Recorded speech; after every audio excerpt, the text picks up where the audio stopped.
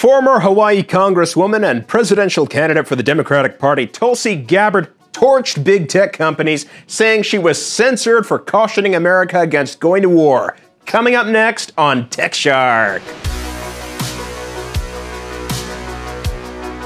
Welcome to Tech Shark, bite sized news for conservative surfing the net. To get you caught up, former Hawaii Congresswoman Tulsi Gabbard